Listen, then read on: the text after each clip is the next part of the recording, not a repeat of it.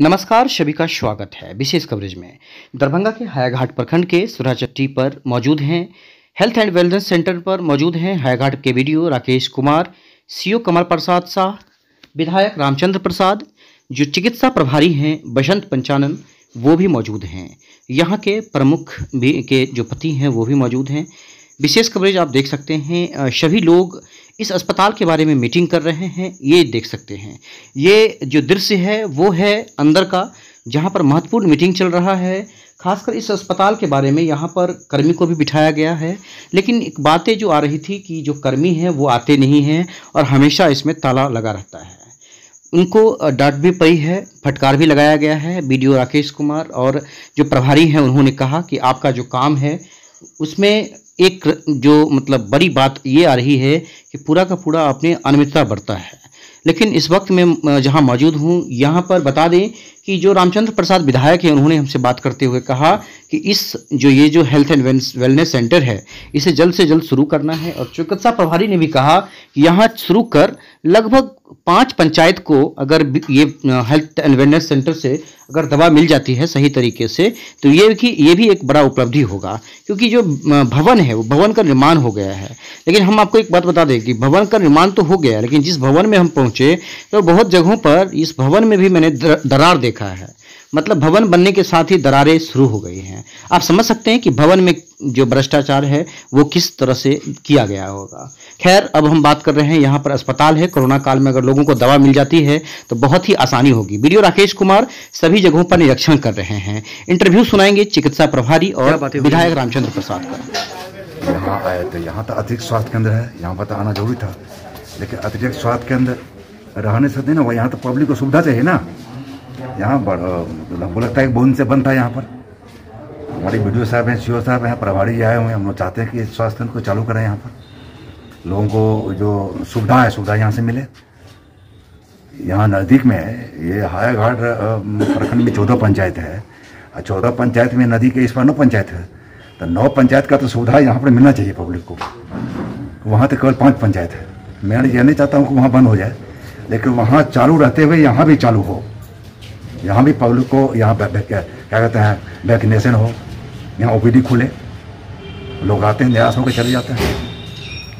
तो क्या इसी सेंटर के बारे में बात हुई है और किसी सेंटर के बारे में? जैसे लक्ष्मीपुर डोरे में भी है वहाँ भी लक्ष्मी सेंटर लक्ष्मी लक्ष्मी ड्योढ़ी के बारे में हम लोग बाद में बात कर लेंगे। अभी जो मेन जो मेन मोर्चा पर है और मेन जगह पर यहाँ पर लोग आते भी हैं।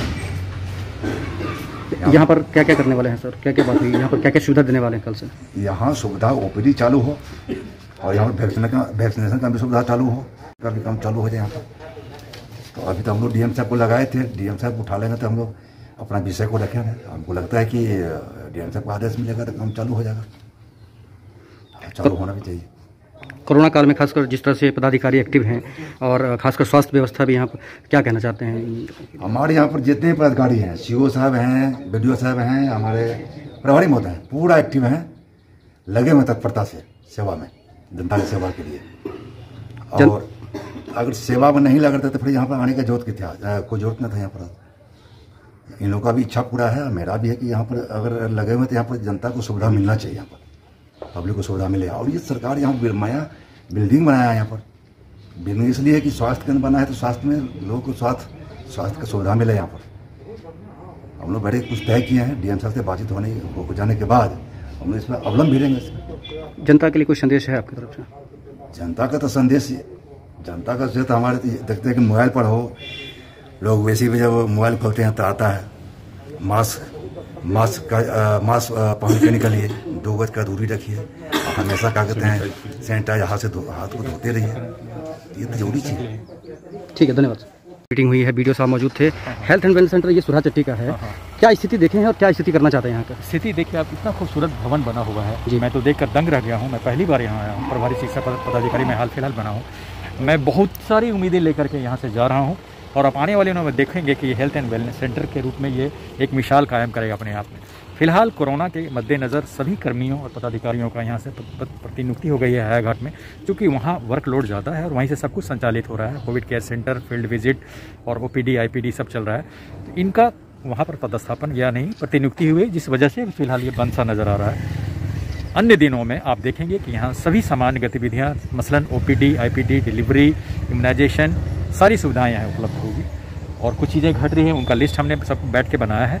हमने विधायक जी को भी और डीएम साहब को भी आ, ये मांग अपना रखने के लिए प्रस्ताव किया है। तो क्या सर कुछ दिन के लिए ये चलेगा या सिर्फ़ ये कंटिन्यू चलता हमेशा रहेगा चलेगा ये हमेशा ऐसा कोई प्रावधान चल रहा है? बिल्कुल बिल्कुल बिल्कुल ये चलेगा। सरकार जब इसको एक बार स्टार्ट करती है तो उसके लिए कंटिन्यूस ऑनगोइंग प्रोसेस होता है। ये कुछ खास पीरियड के लिए नहीं क्योंकि ग्रामीण इलाका में है ये और काफ़ी लोग इससे मतलब जुड़े हुए हैं। मैंने तो आपने सुना होगा विधायक जी ने भी कहा था कि नदी के इस पर हयाघाट प्रखंड को ले लें तो उसमें चार पंचायत पाँच, पाँच। पाँच। पंचायत। बाकी के चौदह में नौ जो हैं नौ पंचायत को अगर हम लें तो इसमें एक सुरहा चट्टी ये सुरहा चट्टी और एक मझोलिया दो अतिरिक्त प्राथमिक स्वास्थ्य केंद्र है। और एक लक्ष्मीपुर में भी है सर तो वहाँ के लिए अतिरिक्त प्राथमिक स्वास्थ्य केंद्र के रूप में मान अगर चार पाँच पंचायत को भी हम यहाँ सेवा दे सकें और फुल फ्रेज सेवा दे सकें तो बहुत बड़ी बात है। लोग उतना दूर नहीं जाएँगे। बेड की बात करें कितने बेड लगाने के लिए? इसमें छः बेड का अभी तक स्वीकृति है। जी। हो सर कोरोना के अलावा अभी तो खैर कोरोना का दौर चल रहा है लेकिन हाँ। कोरोना के अलावा बहुत सारे ऐसी छोटी छोटी बीमारी हैं हाँ, हाँ। जिसको लेकर लोग चाहते हैं कि सरकारी जो अस्पताल है उसमें हमारा दवा मिल जाए फ्री में मिल जाए हाँ, हाँ। तो इसके लिए क्या करने जा रहे हैं सर इसके लिए तो ओपीडी चलाने की बात हो रही है तो ओपीडी तो चलेगा जब यहाँ डॉक्टर और स्ट्रेंथ जो संसाधन हो मानव संसाधन के रूप में जब कर्मी और डॉक्टर होंगे तभी ओपीडी चल पाएगा जैसे तो जो- फ़िलहाल महीनों दिन से ओपीडी लगभग बंद है तो क्या ऐसी कोई व्यवस्था होगी जैसे कि अगर ग्रामीण क्षेत्रों में देखा जाता है कि कोई अगले आदेश का इंतज़ार कर रहे हैं कि जब आदेश समय आएगा कि सभी की प्रतिनिधि खत्म कर देनी है और सबको अपने अतिरिक्त स्वास्थ्य स्वास्थ्य केंद्र में भेज देना है तो सभी कर्मी आएँगे और पुनःपुर से स्टार्ट हो जाएगा वो। कौन कौन थे आपके साथ आज? हमारे साथ मैं डॉक्टर बसंत कुमार पंचानन प्रभारी चिकित्सा पदाधिकारी हयाघाट। मेरे साथ वीडियो साहब थे हयाघाट के सीओ थे और आपने देखा विधायक जी थे। ठीक है धन्यवाद सर। विधायक।